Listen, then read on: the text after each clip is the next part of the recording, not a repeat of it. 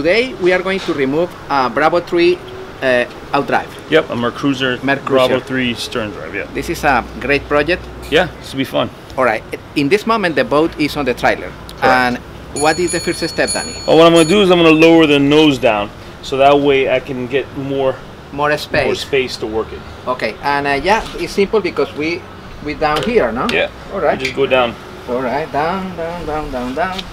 Okay, so now that we move the trailer down, what we're going to do is we're going to bring the stern drive all the way down into position. Go ahead, Alvaro.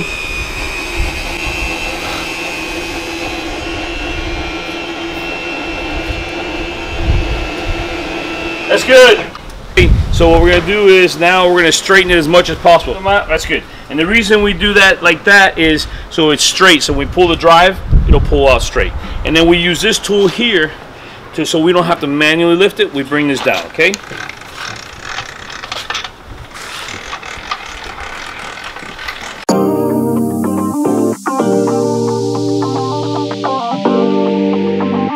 A little more. A little bit more. Yeah. Okay, so that's good for right now. All right. So now what we're gonna do is take We are these going off. to remove uh, uh, Yep. Let me get my impact. the impact. actuators.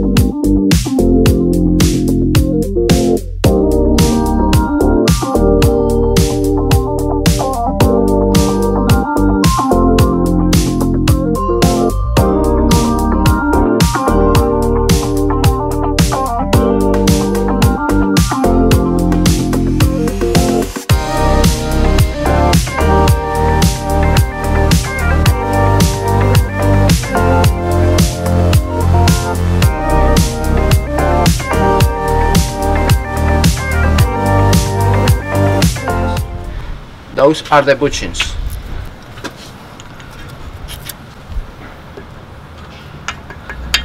Mm-hmm.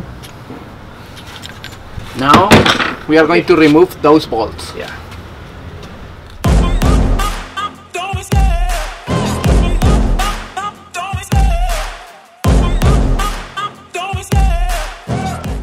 Okay, so now we're ready. Now that we took the, the, the, the ramrod that holds it for the trimming up and down, now we're going to take out these 5 8 bolts to remove it. Now remember, this is a Bravo system. Okay, a Bravo, you do not need to put it in forward gear. So we don't have to put it in forward gear. So now we're going to extract it. Yeah, this is in, in neutral.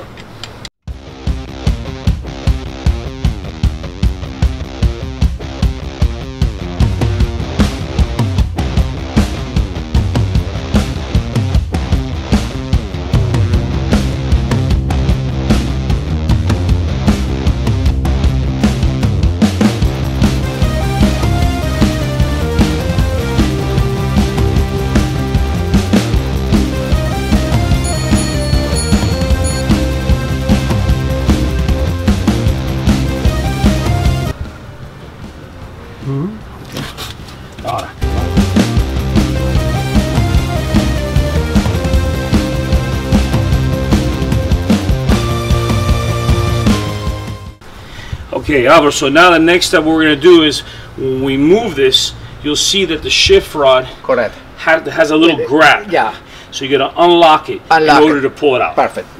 That that uh, those grabs uh, receive the cable. Right. The cable for uh, for the shift control. Right, because the shifting mechanism is on the top It's side. on top. It's here. Compared to the alpha, the shifting It- in the mechanism is down below. It's in the bottom. That's the cable. That's the shift mechanism that we are going to remove right now.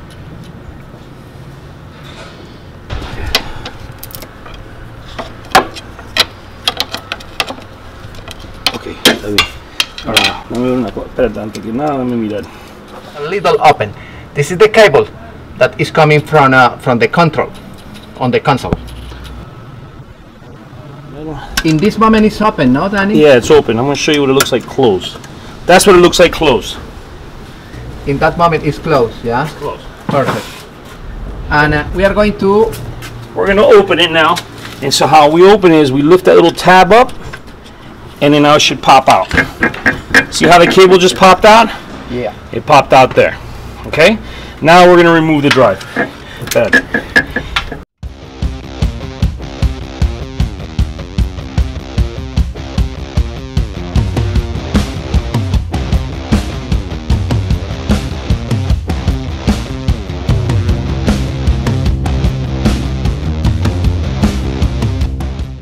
So this is that shifting mechanism we were talking about. It closes and it opens. Y le muestro el That's tablero. open and close. Open and close. Muestro And receive this cable. Ya, déjame coger. Open, close. Open, close. Open, close. That's the mechanism. Look at the pipe for the flow of raw water. The gasket here is important because this is uh, this is the flow of raw water, and those are the bellows.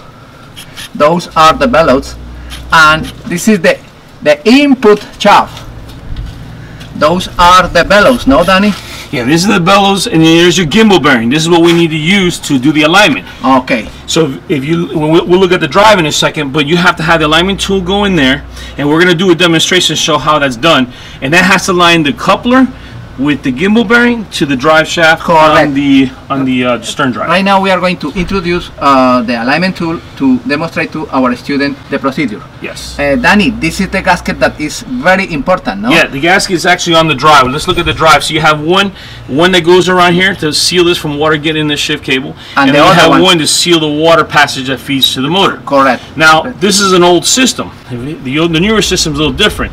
The old system has an insert which you screw into the hose and Yeah. expands the hose out. Uh-huh. What happens? There's another one in the dr- in the on the transom assembly, and what happens with time, salt builds up in there and it crushes And it. crush it, yeah. And then you can't- you don't get water and you have correct, overheat Correct, issues. correct, correct. This is a very, very common problem. no? Yeah, which we think that this this boat probably has that problem. Oh, really? We're gonna end up pulling the motor out out of this boat, and when we do that, we'll, we'll show some video on that as well. Oh, okay. And uh, Danny, um, the exhaust system, no? Yep, the exhaust comes right through the through the white pipes, from the risers and manifolds to the white pipes to the exhaust bellows, Correct, and then it's pushed out through the prop. correct. It, it the exhaust. We are going to refresh. This is the gasket, the gasket that we've mentioned before with Danny, that is critical, and this is the other O-ring to avoid that the water enter in the mechanism, and the gases enter over there, Yep. and goes out in, into the propeller. Now, there's one more thing I want to show you, uh, Alvaro. You remember what this is for? Oh yeah, of course, yeah. That's for the little oil reservoir that's for the your oil reservoir, case. yeah, for the gear case, So yeah. there's on the newer style they have a little reservoir on the engine that keeps full. So if this the driver runs low oil, it has a feed. So when you press this, Oil enter. see oil's dripping out.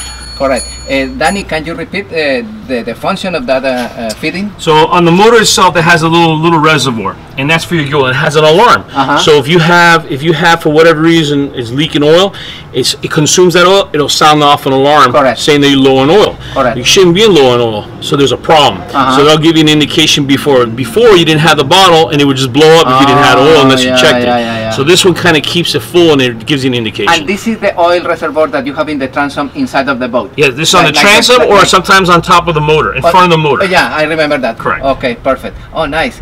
Uh, perfect. This is uh, the, the reservoir for the oil, the gear case oil. Yeah. Okay, uh, Danny, uh, those actuators in this moment uh, to remove the the, um, The drive. the drive, uh, you don't need to remove those uh, actuators, no? Now, some people do. I don't. Yeah. I'm used to doing it without Yeah. it. Uh, you see, it wasn't that difficult. Yeah, yeah, of course. It's easier, without a doubt, if you Uh-huh. had them off. On the Alphas, sometimes you need to do because they're so close together compared to the Bravos. okay, in this particular case, no, because you open No. a little and that's it. and that's it. Ah, okay, perfect. And uh, the only one is uh, replace the zincs. no? Yeah, they replace the zincs. There's zincs here, and there should be a zinc on the bottom as well. Or if you have leaks here, probably you need to repair the cylinders Yes. or replace. Yeah, you can replace. Yeah, I mean, you can repair these. You can buy the end caps for them and replace Okay. it. Now, if it's really pitted, I wouldn't even bother. I would just replace it. Okay, perfect, perfect, perfect. All right, Danny. Now we are going to continue with the stern drive. Okay. Danny, the most complicated part are the U. U Joints. joints. Correct. Uh, yeah, because it's 360. Uh, the alignment of this, this is the difficult Yeah, part. because this is what you're trying to align. Correct. And what happens when you turn the motor? Let's just say you're turning the motor. This stays straight all the time, and this is the only thing that pivots. Ah, so that's okay. how it pivots from one side to the other. Correct. Now, if you have bad gimbal bearings or bad U-joint bearings, you'll hear a rumbling sound. Yeah, yeah, yeah. Okay. Oh, yeah. Matter of fact, when when we take the alpha drive off, it has that problem. So we're gonna run the engine so you can hear it before we pull the drive Oh, out. okay. And then we don't even know what's inside there because so this is the first time that we're gonna pull this drive out. So we'll, you and I will figure out what the problem is. Yeah. Danny, uh, there are uh, a couple of uh, O-rings. Yes. Uh, what is the function of those O-rings? It's just to keep water from moving in in different areas. It, I- it's yeah, goes into the coupler. It's just a little bit of a to seal. protect the Yeah, shaft, to no? protect the shaft. To protect the shaft. But no matter how much you say, you still get corrosion. Uh, Danny, I removed uh, a couple of years ago uh, one uh, unit like this, and those splines are twisted. Yes, that's usually because they hit something. Uh, Some okay. jam because what happens is, uh, especially with stainless steel props. See, with aluminum prop, you really won't get that. Uh-huh. Only because the aluminum prop would give. Yeah, because you like a fuse, no? Right. Because the stainless steel prop is not 100% Eh, eh, stainless correct, steel. correct, So it's got some stainless steel, the coating, but it has more steel on the inside. Ah, okay. So when it hits, it's unforgiving. So the weakest link is your splines, And you twist it. or you might snap the shaft. Oh, yeah, yeah. That's the two things that could And possibly ah, happen. in that case, you you damage the. Yeah, in that the- case, the- it's big yeah. money. Yeah, it's big this, money. if you twist the shaft, no big deal because you Because can you replace, replace just that this one one. section. Okay. Correct. Yeah, you order this one and you only replace Yeah. that one. All right. Okay, perfect. What is the next step then? All right, so now we're going to get the alignment tool, Okay. and I'm going to show you how to alignment. First, we're going to make it out of alignment, Okay. so you can see what it's, how it's difficult. Perfect. Okay. All right, we are going to verify the alignment. Danny, the alignment tool is basically a replica of the original shaft, no? Absolutely. The only difference is that it doesn't have spline. We don't need the splines. We Correct. just want to align it. But that's exactly what you said is right. Uh, it's a replica. All we're doing is making sure that if this goes in smoothly, this will go in smoothly, Ah, correct, correct. And have uh, different diameters depending of the boat, no? depending on the boat. Correct. Ah, correct. Okay, and uh, the secret, I suppose, grease. A lot of grease. Absolutely. So Okay, first thing I'm going to do is I'm going to take it out of alignment. okay, It's just with the gimbal bearing. Obviously, I'm not going to mess with the motor. And then we're going to try to realign it. okay. Okay. We are going to uh, modify the situation. In this moment, it's fully aligned. Perfectly Uh, that we are going to move it a little, and we are going to realign again. Correct. Perfect. All right. So what I like to do is I like to put grease. A lot of grease. Okay. Because it gives me an indication. It'll actually show the grease will show the splines in the coupler. Uh huh. Uh-huh. and then I know it's lined. Yeah. Now, if one side shows splines and the other one smush, then you know there's two. It's not aligned. correct. properly. Ah, of course. Yeah. Yeah, that's what the grease is for. Yes, perfect. That's perfect. So then I just go like this, and we just put it all over, just nice and thick. Don't be shy. Lithium grease. Yeah, lithium grease. In this case, I use axle grease. It's just for only for uh, purposes of aligning. Okay. Perfect. So now I'll do, let me get the hammer. So right now I line it up like this. If you come in here like this, so you're gonna line this up and you're gonna put it in there. See right now it won't go in. So what I do is I'll just tap it a little bit to get it lined. See it's lined up a little bit. I hit it like this, like this, like this, like this, and then I go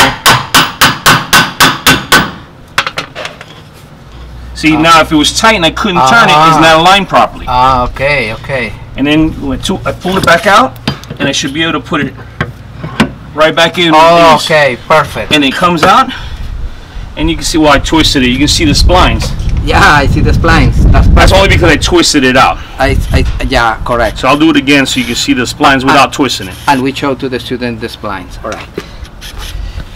Danny, this is a great explanation. Okay, you twist it. See the splines? Perfect. Those are the splines. Okay. Now you know it's thi- properly. This is an indicator that uh, is uh, properly aligned. Correct. Now, when this is in here, okay, let's say you did the hammer deal, and it's tight, so Oh, okay. I, uh, remember, all the time with the with the front motor mounts, because uh, the rear motor mount, the motor mounts close to the transom, are fixed because they, they pivot on the on the bolts. yeah, if you look at the video up top, you'll see that they're all stationary. Correct, correct. All right. Okay, in this moment is aligned. Yep. And now we're ready to put the drive in when we're ready. Danny, this is not complicated, no? No, it's not. It's just you know you just got to have a, a system. You know, uh, my system is I take these off and then I take the bolts off and I set the tool so I don't have to lift it so much, and then that's it. And then you line it just the way I showed you. All right, perfect. Okay.